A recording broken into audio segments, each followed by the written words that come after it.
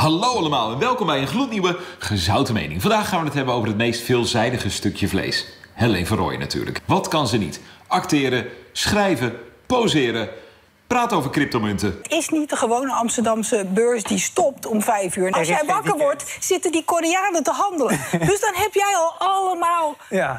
dips en Kip natuurlijk. Nog even terugkerend op de vorige video. Ik had eigenlijk voor het allereerst een soort van prijsvraag gedaan. Ik had een hele mooie tas met oranje attributen. Met daarbij misschien wel als mooiste eye-catcher de prachtige, ja wat was het, Vuvuzela helm.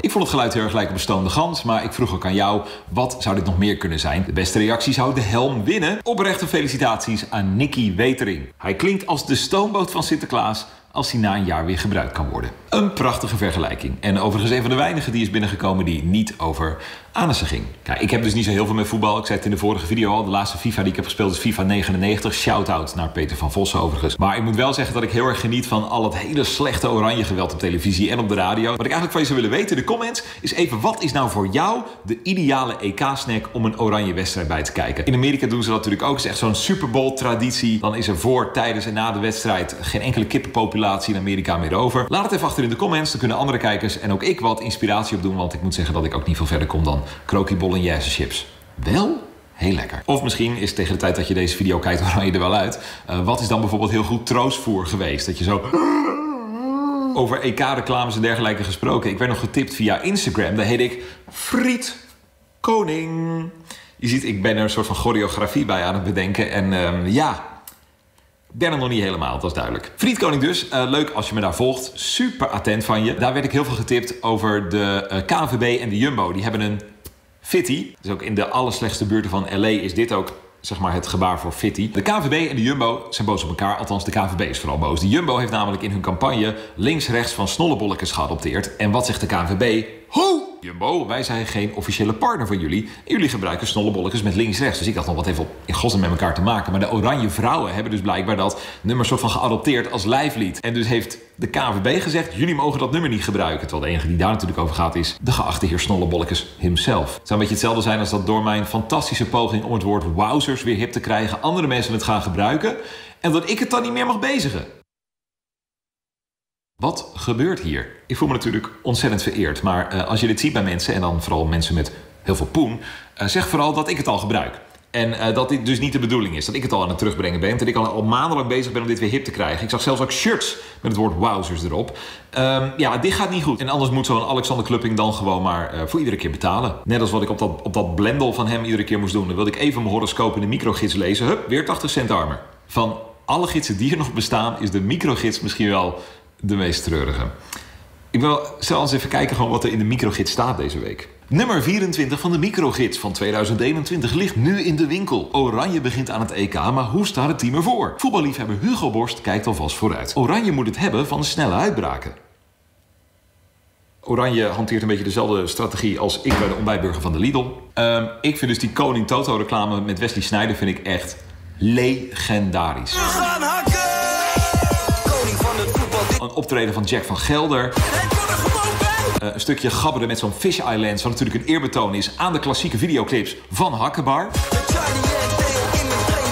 Die natuurlijk een geweldige muzikale carrière achter de rug hebben, maar het wel een beetje gek eindigde met een ja, soort ode aan de prehistorie. De Gabbersaurus!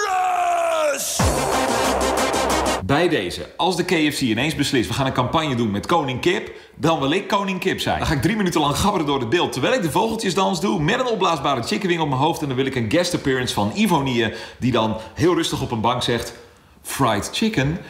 Het is zeker fraai, kip. Talenknobbel die man, hè. Koning Kip, hier zit hij. Vandaag gaan we vergelijken Domino's Crunchy Chicken met een bucket van de KFC. Domino's is pas zeer recentelijk op de kippenmarkt gegaan. Nou, om alvast een beetje een statement te maken... hebben ze op social media een aantal rake eh, slices uitgedeeld aan KFC... die vervolgens op hun beurt weer zo begonnen terug te pikken op social media. Dit was volgens mij heel ongemakkelijk om naar te kijken, sorry. Kan ik je huiswerk kopiëren? Ja, is goed. Verander wel een paar dingen, is dat niet oké? En dan Domino's, dat ongemakkelijke moment wanneer je iemands huiswerk kopieert... en zelf een beter cijfer haalt. Ik vind het best wel een moeilijke recensie om te maken, omdat als je mijn eerdere video's gezien hebt, dan weet je dat ik best wel bevooroordeeld ben als het gaat om KFC. Ik ben gewoon heel eerlijk fan van KFC. Dat wil niet zeggen dat alles wat ze doen goed is of dat alles uh, wat zij aanraken verandert in goud. Kijk, die KFC Chicha um, vond ik echt heel goor. Die heb ik heel lang geleden gerecenseerd. was denk ik een van mijn eerste video's. Dat hele verhaal van die kolonel, dat vind ik ook een beetje vermoeiend worden. Alsnog wel een betere mascotte dan een maniacale clown of een domino-steen. Want als ik een domino-steen zie, dan moet ik denken aan Domino Day 2002. Waar Linda de Mol persoonlijk een mus heeft doodgeschoten. Tenminste, ja, ik niet precies hoe het verhaal ging. In ieder geval gewoon heel zielig. The 11 Secret Herbs and Spices, zoals KFC het altijd noemt. Ergens in een geheime kelder op deze wereld. De elf kruiden. Overigens niet te verwarren met de elf bruiden in de geheime kelder van Dion Graus. Uh, dames, stay strong. Wat ga ik met elkaar vergelijken? De mix bucket van Domino's en de variety bucket van KFC. Kijk, ik was een beetje enthousiast, heb me opengescheurd.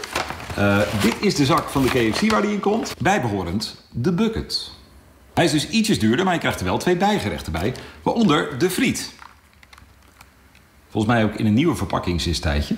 Finger licking fries. Maar goed, heel eerlijk, die gaan we niet vergelijken. En blijkbaar zijn er toch genoeg mensen die dit bestellen bij de KFC. Anders hadden ze dit al lang uit het assortiment gehad. De maiskolf. Oh.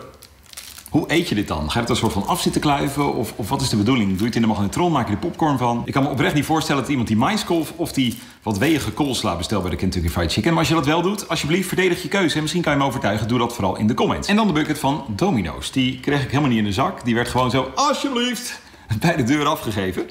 Dus ik vraag me af of de saus hierin zit. En zo ja, dan wordt de saus natuurlijk best wel warm.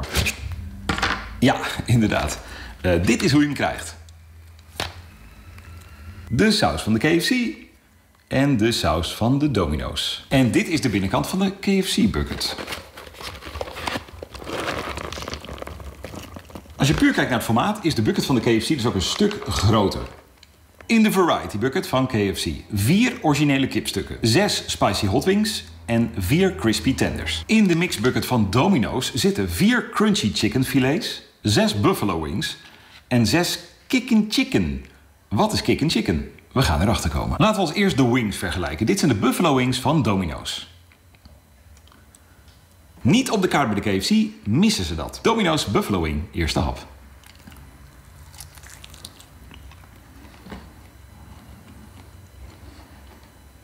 Vergelijking met de KFC Hot Wing. Natuurlijk anders dan de Buffalo Wing, moeilijke vergelijking, maar wing met wing is wel fair. KFC Hot Wing, eerste hap.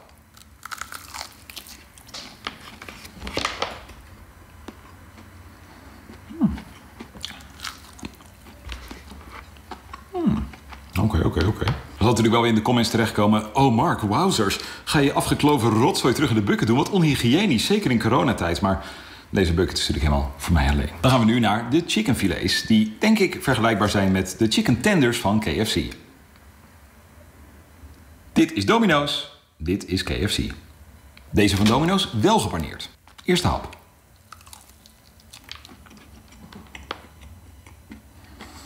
KFC chicken tender. Eerste hap ter vergelijking.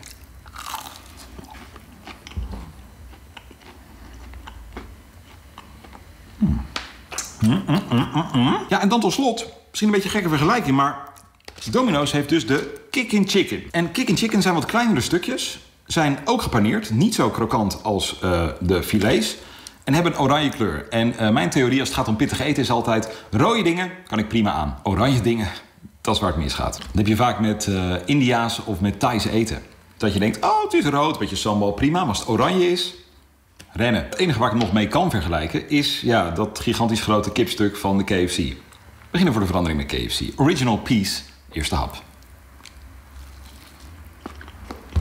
Mm, maar ik vind dit zo lekker. Ik ben een beetje bevooroordeeld. Maar goed, net zoals de commentatoren van Radio Rijnmond... bij een Feyenoord-wedstrijd kan ik die partijdigheid heel goed opzij zetten. Wat ik wel altijd heel moeilijk vind aan deze is... Um, waar stopt het eten? Kijk, zeg maar dit. Dit stukje is heerlijk krokant. Um, als je er een hap in zet, dan breek je niet je tanden af. Maar achteraf denk je dan, is dat niet gewoon kraakbeen? Of is dat niet gewoon bot? Misschien weet een kippen-expert dit wel. Is dit, kan je dit eten of moet je dat echt laten liggen? Moet je eromheen kluiven? Dan nu Domino's Kickin' Chicken. Het enige waarvan ik denk dat lijkt op niets uit de bucket. Wat zal het zijn? Eerste hap.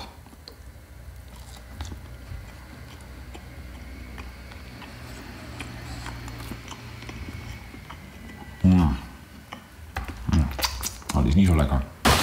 Ah, top. Geen servetjes gekregen bij de KFC, geen servetjes gekregen bij de Domino's. Ik weet dat je hem thuis bezorgt en denkt, die jongen heeft misschien servetjes thuis. Maar goed, dan kan je het niet goed in een plastic zak doen. En denk je, die jongen heeft ook een bord. En dan tot slot, en dat doen we niet in combinatie met de kip, we gaan dit direct vergelijken met een mespuntje, zodat de smaak niet beïnvloed wordt door enige kruiden. KFC heeft een smoky barbecue saus, Heinz een smoky and sweet. We beginnen met de Heinz. Gaan we naar de KFC. Domino's Crunchy Chicken Southern Recipe Mixed Bucket versus KFC Variety Bucket. Laten we beginnen met de wings. Buffalo wings zijn doorgaans vaak net wat te droog en mis ik dus echt die lekkere, dikke, krokante paneerkorst. Het is ook een crunchy chicken box, dus daarom snap ik niet zo goed waarom er buffalo wings in zitten. Heb ik wel begrepen dat dit in de oven wordt bereid, volgens de social media van Domino's. Normaal zou ik dan zeggen gegarandeerd verloren van de hotwing, maar ze zijn wel juicy, ze zijn niet droog en ze zijn ook vaak echt verschrompeld. Dat is zeker niet het geval als je deze ziet. Hou je toch meer voor de krokante korst en een beetje die spiciness, dan moet je voor de hotwing gaan. Puur op basis van persoonlijke smaak zeg ik natuurlijk hotwing wint. Dan gaan we naar de filets. Uh, bij Domino's zijn ze een stuk dikker. Ze zijn ook gepaneerd, maar niet zo krokant als die van de KFC. Nou is dat vaak ook een beetje hit or miss. Ik ben ook wel eens geweest, heb ik chicken tenders besteld en dan zijn ze echt zo slap als spaghetti. Wat je wel merkt is dat de tenders bij KFC het echt weer dus moeten hebben van die korst. Want in het kippenvlees zit een stuk minder smaak, zeker in vergelijking met de hot wings. Die van Domino's is dan misschien wat minder krokant, maar heeft eigenlijk wel een lekkerdere smaak. Meer kruiden, iets gepeperd en ik denk in combinatie met de smoky barbecue saus echt helemaal top. Dus de filet gaat dan toch naar Domino's. Oh, spannend. 1 tegen 1. Ik weet niet waarom ik nou eens een voetbalcommentator nadoe.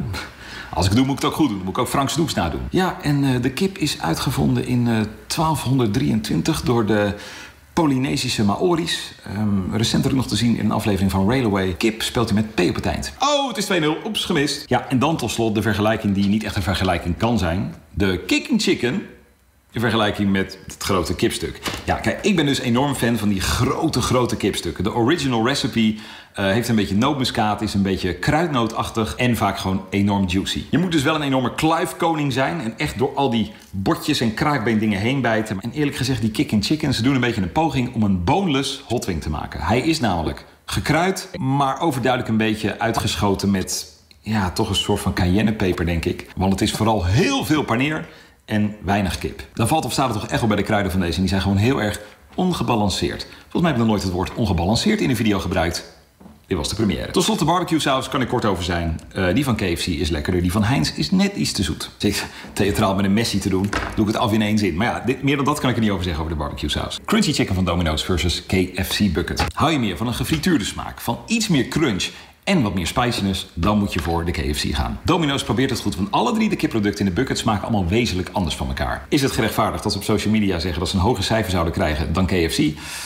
Het spijt me, maar Zover zijn ze nog lang niet. Er is niet voor niks een reden dat KFC hun eigen chips hebben. De smaak is kenmerkend. Tot slot even een opmerking die ik zag van uh, mensen die in die hele social media oorlog bezig waren. Domino's versus KFC. Zei iemand wel, ze bezorgen wel in heel Nederland aan huis. KFC bezorgt alleen maar in de grote steden. Ik kan me dus goed voorstellen als je in een gebied woont en geen grote stad waar KFC niet bezorgt. Dan is dit absoluut een goed alternatief. Dan moet je hier zeker niet je neus voor ophalen. Dit was hem. Gezouten mening KFC versus Domino's. Ik hoop dat het informatief was. Ik hoop dat ik geen onnodige oorlog in de comments heb uitgelokt. Wat moet ik de volgende keer recenseren? Laat het even weten. Ik zou het leuk vinden als je de video video liked, even abonneert, al die standaard YouTube. En om mij heen, techniek staat voor niks. Allemaal andere leuke video's die je kan aanklikken. Zout is op, op zouten.